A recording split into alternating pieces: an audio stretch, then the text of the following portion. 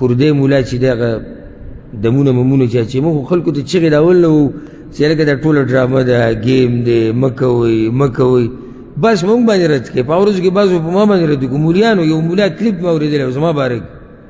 وایي ده چې دغه مولا صاحب باندې بیان کړی دی دا کردی مولا چې دی نو د دوی نه کم مولا پاتې شوی دی زمونږ د ذمواري ده چې مونږ بدعتیان او بېدینه دا خلکو ته په ګوته کړو چې وایي دا سړی دنه ځان لرې ساتي که په دې څوک خفه کېږي که خوشحالي نو نن راته یو ملګري میسج وکړو د هغه تصویران یې راولېږل چې تللی دی جرمن ته ګیره یې خرېلې ده او پېنټ شټ یې چولي ده خپل صحیح لارې ته اوس راوړېدلی اګر که دی و په دې لار باندې خو صرف د خلکو دوکه کولو لپاره یې ګیره پرېښودې دې وضاحت دا ورکړی د هغه په خپله صفحه باندې چې دا ما باندې کینسر بیماري راغلې او د هغې دپاره د ږیرې لر کول لازم و او عجیبه کینسر دی چې صرف ږیره لرې کول لازم و لکه د سر ویښته پاتې دي برید صحیح دي روزي صحیح دي د سترګو باڼه صحیح دي د نور بدن ویښته برابر دي خو صرف دا ناشنا بیماري ده چې څه لرې کول لازم و ږیره لرې کول لازم و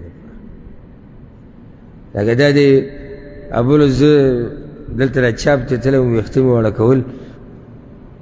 نه ویښته وړه کول ما سي استاد یو تپوس نه ونه کوم وک ما ستاسو نه دا قینچې نه اکثر خطا کی ما ته وی څنګه نو مې ما ډیر خلک ولیدل لکه چا ګیره وړه کړی یې خریلی وی د استاد نه بلیډ کته راغی او یا قینچی راوښودله ما دا تاسو اهتمام ولې نه کوئ ما ته وی شیخ صاحب زما مجال څه دی مجال چې یو سړي دې ما ته نه ویلو زما قینچي دې کته راځي زه خو اول د سړي نه دا تپوس کوم ګیره پورې د په سر کې دې تپوس کوم چې سر کې ته کم ډیزاین کول غواړې د هغې نه اخوا زه نه ځم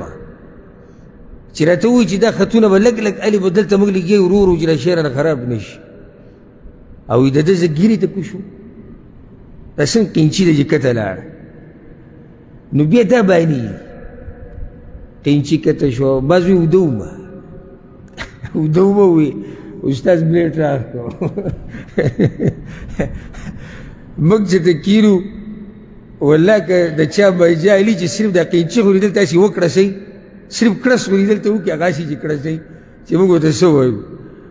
او د دې ځوان نه ګیره پوره والي ده او دی اوده پروت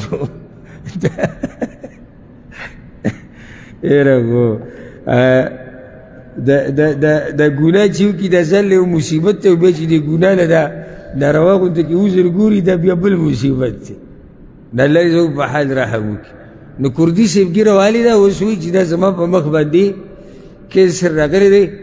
نو د هغې د لاسه ډاکټرانو راته دا ووي چې ته به ږیره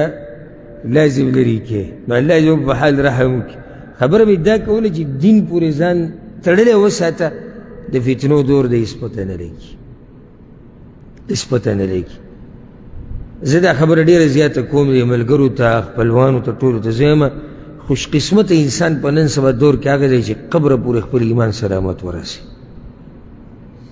یو سړی مړ شي که نه او دی په کلمه توحید باندې مړ شو او مسلمانو چې مړ شو دا ډېر ښه سړی دی ډېر ښه سړی دی او امید دی چې الله به یې وبخي چې په دې دور کې د خپل ایمان قبر ته ورسو نو ذکر د الله چې دې پرېښودو د الله نه څومره لرې شوې نو زړه به دې څه شي زړه به دې مړ شي او چې زړه دې مړ شو خو د الله د دین نه لرې شو نو الله دې زمونږ د زړونه نه مړه کوي او الله دې زمونږ د زړونه